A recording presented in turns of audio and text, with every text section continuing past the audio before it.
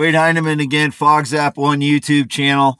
Um, once again, uh, if if you're if someone is depicting me communicating with someone else, they are criminals hacking my cam. They're just simply uh, felons hacking my cam.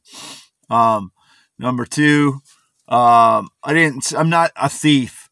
Uh, the uh, laptop I have and the laptop box that I accidentally left at home the other day, that was bought by my mother. She has the receipt.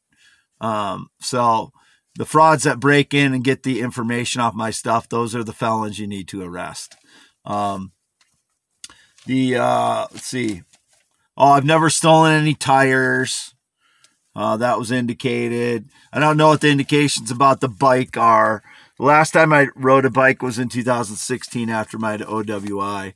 And the two bikes out here, one of them is I bought from my brother Ryan, who is three years younger than me, um, and lives in Cedar Falls, Iowa, for fifty dollars uh, because it was broken at the time. I had to put a hundred and some dollars into fixing it, and I wrote it on RAGBRAI.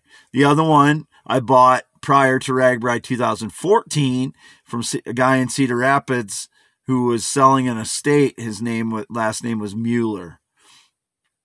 Um, and uh, uh, I bought some other stuff along with it. Those bike bags, um, those Trek bike bags were bought at an estate eh, sale in Cedar Rapids. I bought the bike for a hundred dollars. I paid uh, like twenty bucks for both of those bike bags, um, those Trek bike bags back then before I rode in RAGBRAI with Jeff Kramer, and I bought another aluminum bike for a hundred dollars in Cedar Rapids that year. It was a silver Schwinn it was all aluminum, and Jeff Kramer rode in RAGBRAI with it. Um, I think I paid actually paid a little more than hundred. I think I paid one hundred and thirty dollars for it in Cedar Rapids, and then I sold it to him for hundred dollars after RAGBRAI because he wanted it. Um, then he said it was broken, but it wasn't um, when he was riding it in RAGBRAI. So I don't know what happened to it, but unless the frauds sabotaged it, but that uh, Asus laptop, that is my, my mother has the receipt for that. Anything else is uh, made up by the frauds. Um, and the box that I accidentally left here, that's the box for the laptop. So if they got the numbers off the box, I have the box and the laptop, and my mother has the receipt for it. It's hers, or she bought it anyway.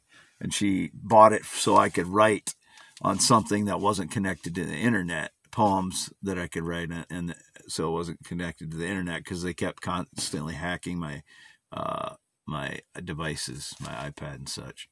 So no, I'm not a thief. They're the thieves. They owe me about sixty to eighty million dollars for stealing my space interaction theory poems, blogs, and inventions, getting me tortured with their staged lies. They're cowardly frauds, all of them. Signing off, Wade Heineman. Still here at 1809 W Avenue, Fairbank, Iowa. By myself all day, as always, as usual, by myself. Not tried to contact anyone. I've been busy trying to get things together for this winter. Screw off, liars.